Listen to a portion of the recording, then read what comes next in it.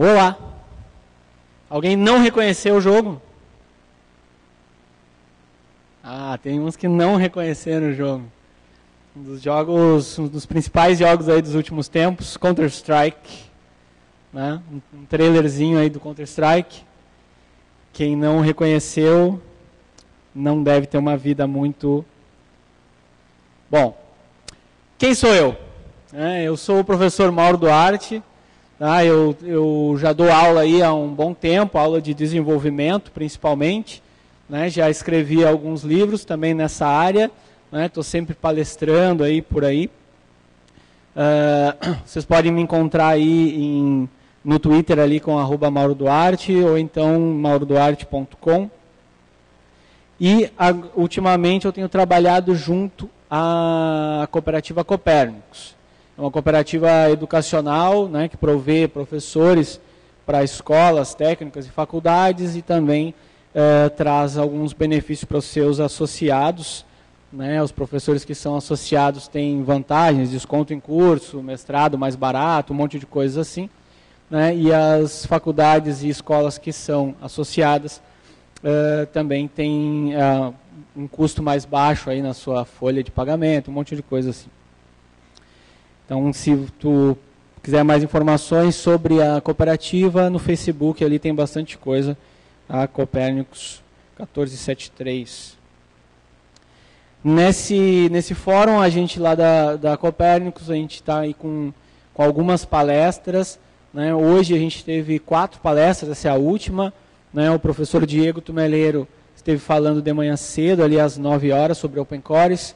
Eu falei sobre programação ágil com Web2Py ao meio-dia, depois sobre criatividade a uma, e agora jogos no Linux, que é a minha última palestra. E amanhã a gente tem mais uma sobre automação, né, com o professor Eduardo Medeiros, meio-dia. E uh, eu quero falar um pouquinho desse meu novo projeto aqui, que é o Planeta Nerdiário, que é um canal no YouTube de cultura nerd. Tá? Uh, a gente está há pouco tempo aí, um, pouco mais de um mês com esse canal. E eu falei do meu canal a, a, na palestra do meio-dia e na palestra da UMA. E pedi para que as pessoas se inscrevessem para ganhar um, um pack né, de animes que eu vou sortear para os inscritos no meu canal no final dessa palestra. Tá? Então, quem tiver, quem tiver se inscrito no canal hoje né? Tem aqui a edição completa do Hero Tales que eu vou sortear para os inscritos no final da palestra. E uh, vou sortear também eu, mais uma edição do meu livro de LibreOffice Calc avançado. No final da palestra, então, eu vou estar tá sorteando esses, esses livros. E agora eu vou falar do, de jogos mesmo. Olha só, uh, eu meio que já dei uma palestra praticamente igual a essa, há um tempo atrás em 2013, acho que foi. Ah, uma palestra que se intitulava também Jogos no Linux, a última fronteira. Só que na época, naquela ocasião, a palestra ela era a última fronteira com exclamações. E essa aqui é a última fronteira com interrogações. Porque muito tempo se passou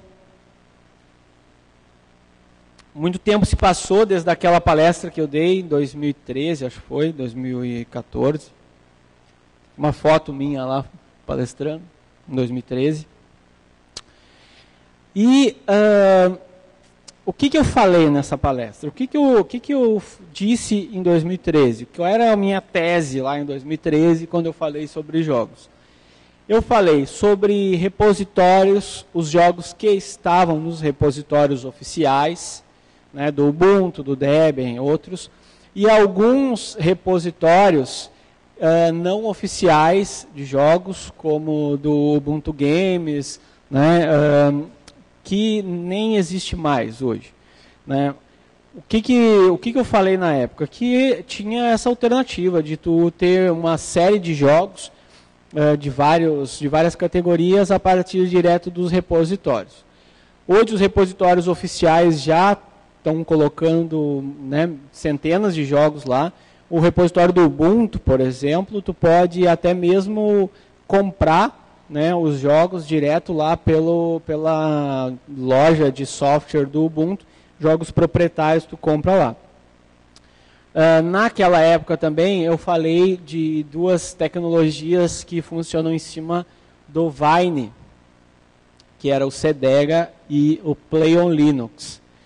Que, o que, qual era a intenção dessas, dessas tecnologias? Te permitir instalar uh, jogos e drivers e outras coisas assim, que não são nativos para Linux. Né? Jogos que foram feitos para Windows, mas tu quer jogar eles e quer jogar no teu Linux. Então, lá em 2013 eu falei sobre isso, né? sobre, sobre essas tecnologias. Play on Linux, por exemplo, para mim é uma, uma coisa uh, fundamental, assim, principalmente no mundo né, dos games mesmo.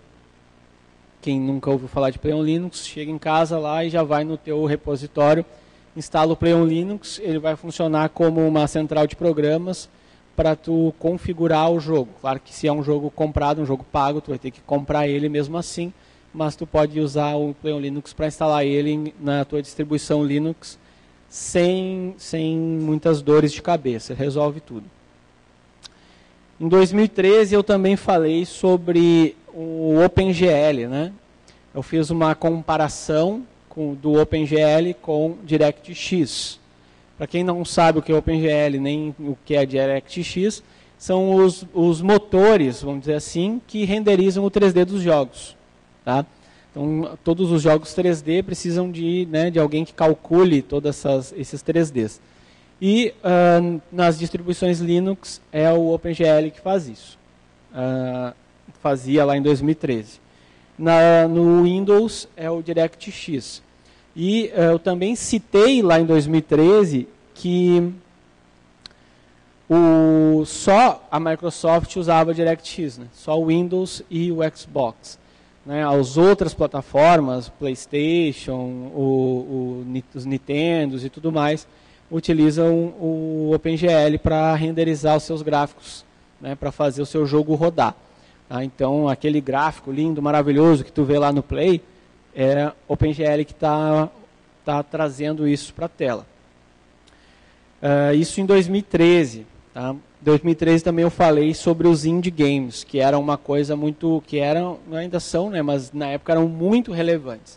O que, que é um indie game? O indie game é um jogo que é lançado por um estúdio pequeno, por um estúdio que não é né, um grande estúdio de, né, de jogos aí do, do, do universo de jogos. Tá? Não é uma EA Games, não é uma Valve, não é, um, não é ninguém. É só um pequeno estúdio que fez um jogo.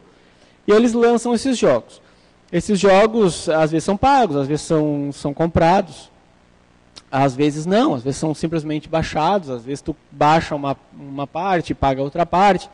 Mas tem coisas muito boas nesses indie games. E na época eu também falei sobre Humble Bundle. Alguém já ouviu falar de Humble Bundle? Sabe o que é? Aí tem metade, pelo menos, sabe o que é Humble Bundle. Humble Bundle, para quem nunca ouviu falar, é um, um, um site que organiza algum, um pack de jogos, sei lá, cinco ou seis jogos, e aí tu compra esses jogos por um valor, uh, pelo valor que tu quiser pagar. É basicamente isso. Tu escolhe, ah, eu quero pagar 2 dólares nesses cinco jogos, aí tu compra por 2 dólares. Ah, eu quero eu acho que esse jogo vale 10 dólares, então eu compro por 10. Né? Não, eu tenho muito dinheiro, sou rico, quero pagar 200 dólares nesse jogo. Então tu compra por 200 dólares. Tu compra pelo, pelo valor que tu quiser, uh, que tu quiser pagar. Então procura no, no, no, Google lá depois, Humble Bundle, tu vai ver algumas coisas interessantes. Tudo isso eu falei em 2013 e se alguém quiser por acaso assistir essa palestra, tá no YouTube também.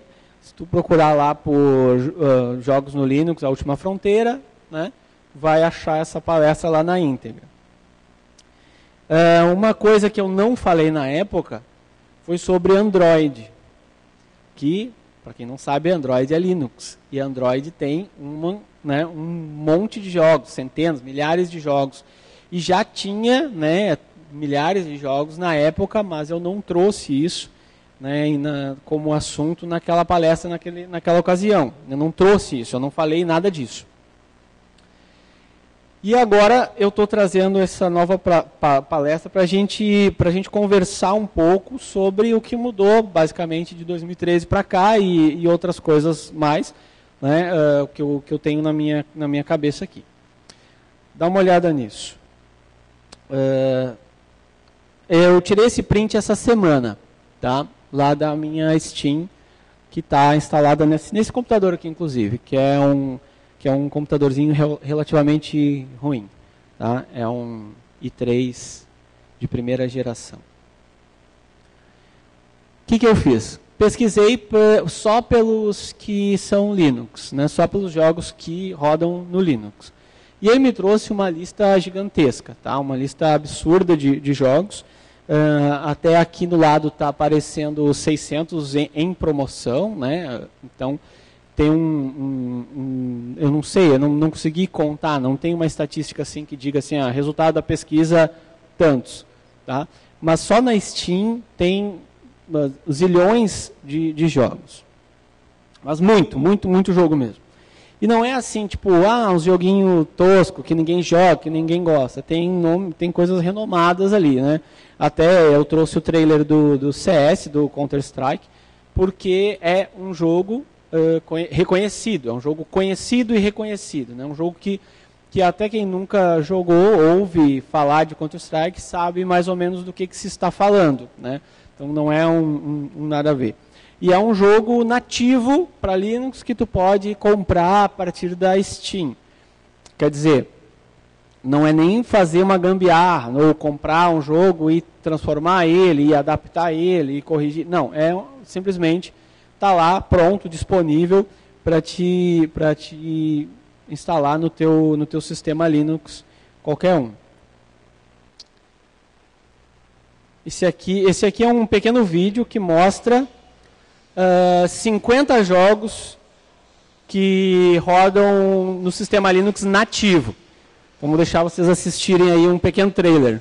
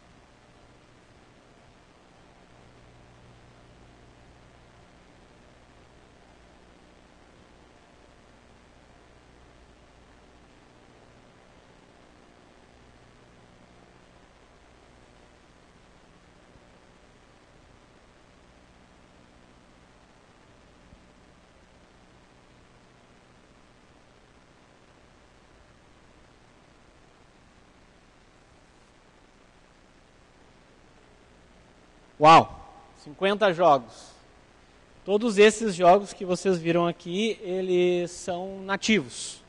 Ou seja, é só tu, né, pelo, né, comprar, instalar, sei lá, baixa pelo Steam, cada um tem o seu jeito, sem nenhum tipo de uh, adaptação, nenhuma gambiarra, nenhum nada. É só ter. Vai lá e compra, instala. Só que o que, que acontece? Uh, outro dia eu comentei com um colega meu que eu ia dar essa palestra. Eu disse para ele, ah, vou dar uma palestra sobre jogos no Linux. Aí ele disse assim, ah, eu até experimentei Linux há uma época atrás, e só que eu não gostei porque não dá para jogar né, no Linux, não tem jogos, não tem como jogar no Linux, ele me disse. Eu disse, cara, nada a ver, tu tá, tá viajando. Em 2013 já tinha dado uma palestra explicando como, como jogar. Aí ele, ah, tá, beleza. Não, não, não deu muita importância, deu uns argumentos lá. Uh, e aí eu me dei por conta de que a ideia que eu tinha em 2013 estava errada. O erro, o erro naquela minha teoria de 2013 foi, foi esse. Eu achei que no momento que houvesse uma adoção maciça de jogos para Linux, que as grandes empresas desenvolvessem jogos para Linux e tivesse distribuído nativamente, sem precisar nenhum esforço, as pessoas iriam migrar para o Linux a partir dos seus desktops, iam parar de usar o, o, o janelas, né, e passariam a usar o, o Linux. Por isso que a palestra se chamava A Última Fronteira.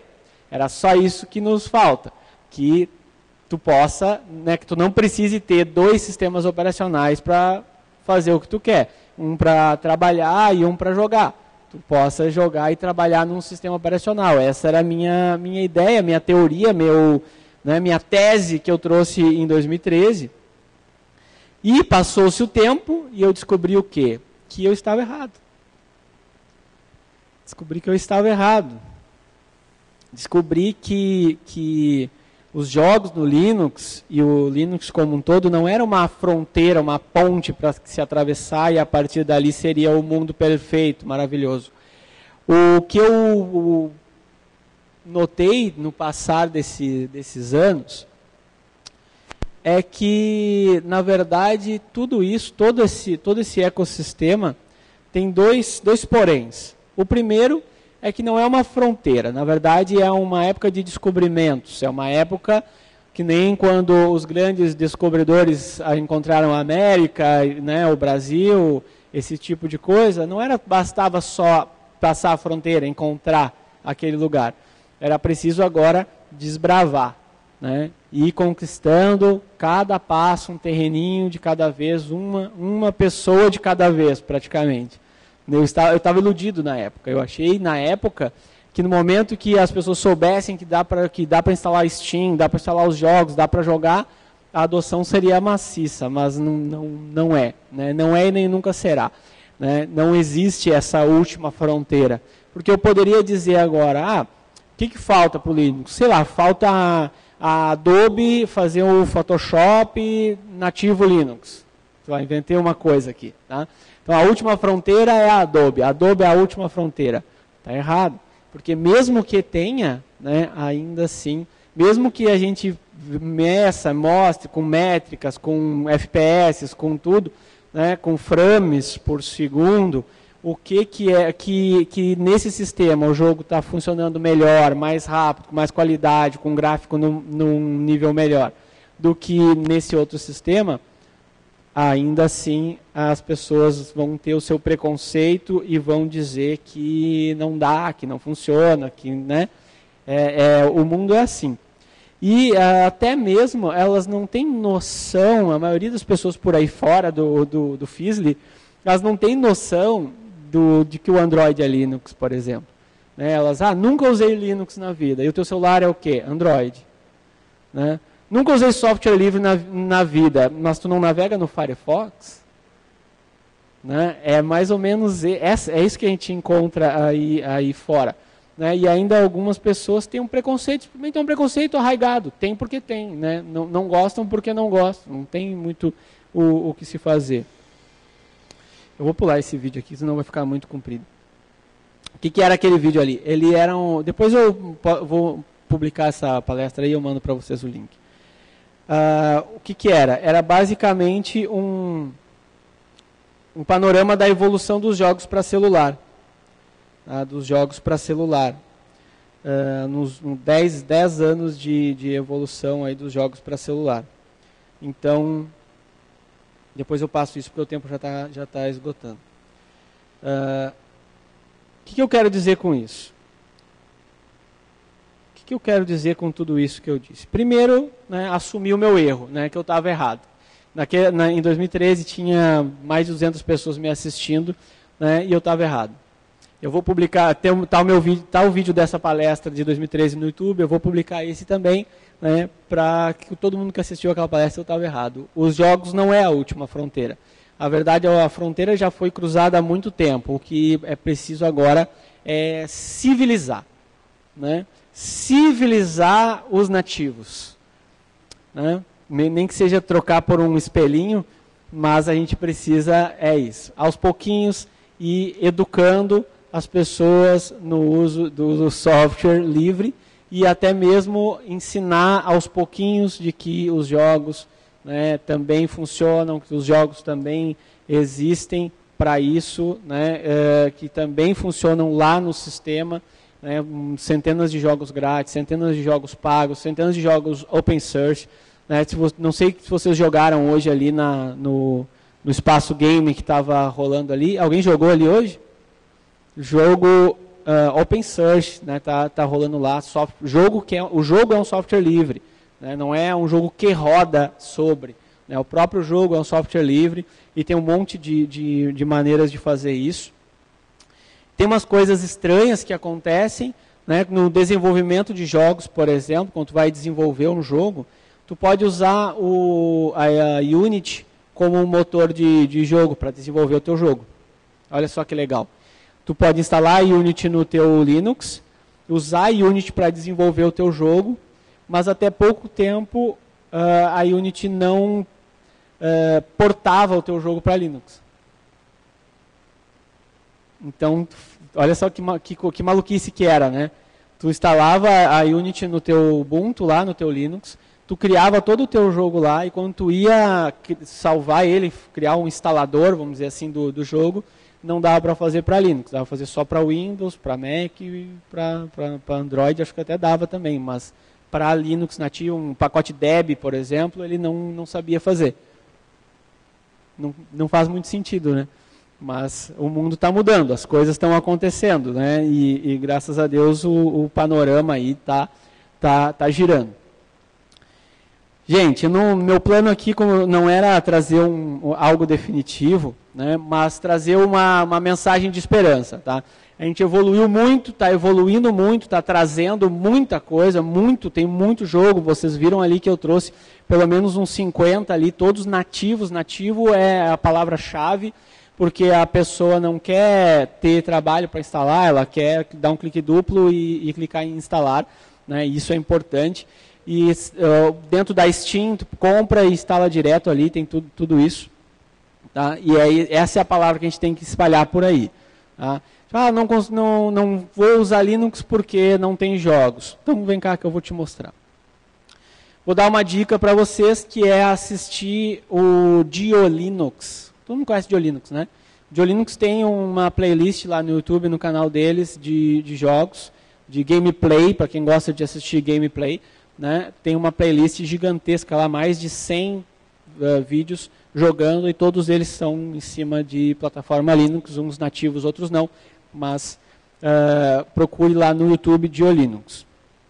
Uh, esse aqui é o link para se inscrever no meu canal e agora eu vou uh, sortear o, o pack de mangás para quem se inscreveu lá e o livro para quem está aqui.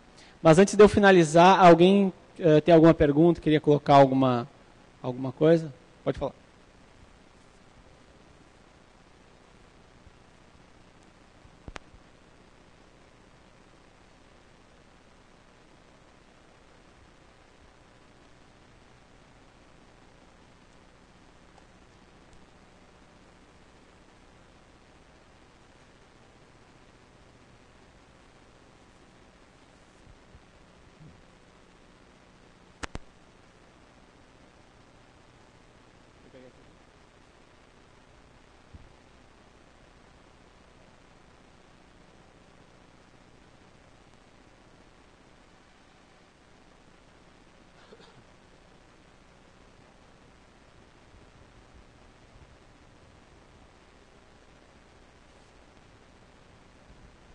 Então, é, só adicionar uma, uma coisa que eu vi essa semana, que a Atari está fazendo um, um videogame mesmo, rodando Linux, né? E eu imagino que os jogos que já estão portados vão, vão funcionar nele, né?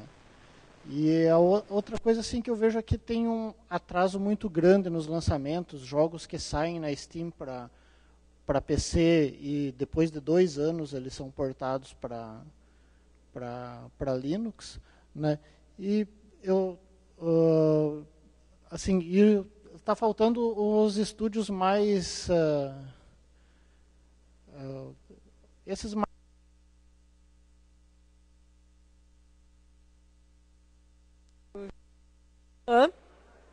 ele tem um conceito que eu acho muito bonito que é de de mundo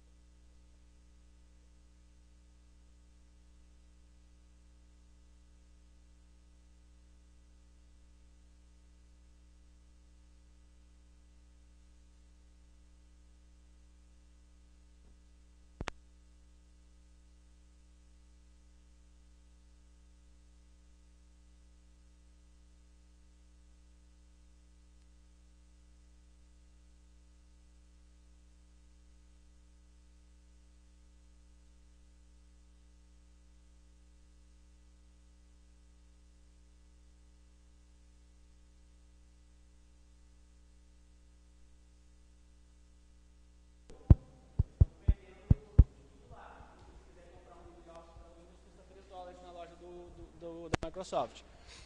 Uh, eles estão vendendo as coisas lá. E aí a Valve percebeu que o grande potencial deles, que é ter a Steam para vender jogos e ganhar dinheiro a partir disso, ia se perder quando a Microsoft tivesse o seu plano em prática. Então eles começaram a abraçar o mundo Linux. Tá? Então foi a, a primeira grande a fazer isso foi a Valve mas não é suficiente. Né? Só uma grande empresa a, apoiando tudo isso não é, não, não, não resolve, vamos dizer assim, o problema. Uma, como eu falei, tem um caminho para se seguir, tem um, tem um caminho aí, uh, não está tudo resolvido, mas está melhor que estava em 2013, está melhor que estava há cinco anos atrás. Né? Tá, a vida está mais feliz tá? do que do que estava cinco anos atrás. Então, algumas coisas estão acontecendo, né? Essa ideia da Tectoy de, de, de uh, teve uma, há um tempo atrás, a Tectoy tentou fazer um, um console, né? De que, que jogaria, que rodaria os jogos do Android na TV, liga na TV, jogos jogos do Android. São ideias, né? São coisas que estão acontecendo. Talvez em algum momento uma dessas ideias vai dar pum, né? agora explodiu, mas a minha, minha previsão futuro é que as coisas vão a, a passos de, de, conquista mesmo, né? um passinho de cada vez. Fala. É, jogos em geral não seriam a, basicamente a ponta de uma pirâmide de software? Não ajudaria bastante se, por exemplo, é, o suporte a driver de vídeo, principalmente no Linux, fosse melhor? Eu, por exemplo, tenho um notebook com, com uma placa gráfica NVIDIA. Uhum. Eu não uso meu Linux para jogar, porque eu já tive que instalar a placa gráfica NVIDIA, eu quebrei completamente minha instalação do Shorg, foi um inferno. É, uh, a gente sabe assim, que tem, tem algumas... É, é curioso, mas tem algumas áreas aí da tecnologia que definem padrões de mercado. Tá? Uma delas é os games. O que, o que os games exigirem é o que vai ser feito. Tá? Então, por exemplo, uh, por que, que uma placa de som de 98 e uma placa de som de 2018 são praticamente iguais? E uma placa de vídeo de 98 e uma placa de vídeo de 2018, de 2018 não, não lembra nada uma coisa com a outra. Né? Por que, que a evolução da placa de vídeo foi tão grande e da de som tão pequena? Porque os games exigiram muito mais hardware de, de, de vídeo, né? muito mais renderização de vídeo, muito mais tudo. Tá? Então, uh, os games vão, vão forçar. Então, no momento que, uma, que as empresas de jogos disserem assim, ó, nós estamos lançando nossos jogos para Linux, vai forçar as produtoras de hardware também a uh, levarem né, os seus drivers, levarem os seus hardwares para Linux também. Né, isso é um, é, uma, é um caminho natural. Mas as grandes empresas, enquanto as grandes empresas de jogos não estiverem fazendo isso, né, vai, ainda a gente vai ficar penando um pouco nessa questão de, de drivers. Diga. Só uma última questão aqui. Uh, a respeito do que o colega falou ali da, da Atari, tu se referiu àquele Atari que ele tinha um Androidzinho e rodava os jogos antigos, né? Eu acho que ele estava se referindo a outra, outra Atari que está sendo lançado agora, que é o Atari VCS, que ele está usando o, o, acho que é o Ubuntu, como você... É, isso, eu não sei bem como é que é o hardware dele, mas ele está usando o Ubuntu por trás ali, vai rodar os jogos antigos do Atari e vai começar a vir alguma leva de, de jogos novos. Mas além disso, eu queria ressaltar uma coisa que tu falou ali do do Play on Linux e o outro que eu não lembro, Garena? Cedega. A Cedega. Cedega. Isso. E tem tem o Wine também, só que daí tem eu estava pesquisando esses dias e descobri que tem uma outra forma para quem não gosta muito de começar e ficar configurando, configurando, porque para te instalar um jogo com Wine lá, por favor, é uma, é uma coisa triste. Existe um software chamado Lutris, tá? Tu pega, instala ele no teu computador, daí tu pode acessar lá na página do Lutris, ele vai ter diversos jogos, eu utilizei ele para instalar Patch of Exile no meu computador, tu vai lá, clica no, no linkzinho, ele vai baixar como se fosse um torrent da vida ali. Uh, e quando ele termina de instalar o jogo, faz toda aquela instalação, pá, ele roda liso. É só tu pegar e entrar e jogar. Tu não tem que fazer configuração nenhuma em um Wine, Play um Linux, nada. É só aquilo ali. Já vem com uma versão prontinha do Wine configurada. E é isso. É só para complementar mesmo. É, o, pro, o, próprio Play Linux já é bem simples, já é bem, bem tranquilo de, de usar ele para instalar jogos. Mas a, a, grande, a grande vantagem dos últimos anos é o fato de, de a gente não precisar deles. Né? A solução para o mundo de games no Linux vai ser quando a gente não precisar mais, quando o Play Linux, Vine, CDR, essas coisas forem totalmente uh, irrelevantes. Aí é, é, o mundo perfeito. Tá, gente, só para para finalizar, uh, seguinte. Uh, deixa eu ver uma coisa. Hugo Chiamuleira está aí? Não. Clésio Batista está aí? Está aí. Tá, então eu vou te dar, te dar esse e, eu, e aí o outro sorteio de novo. Clésio está aí. Tito Guerra. Eduardo Viega. Vamos, vamos ler todo mundo. Lucas Pedreira. Não, então daqui a pouco já era. Tá, seguinte então. Uh, quem é que me fez a primeira pergunta? Foi tu. Tu vai ganhar uns animes. Não sei se tu gosta disso, de, de, de, de né? Mas tá aí. De nada. Obrigado, pessoal. Obrigado.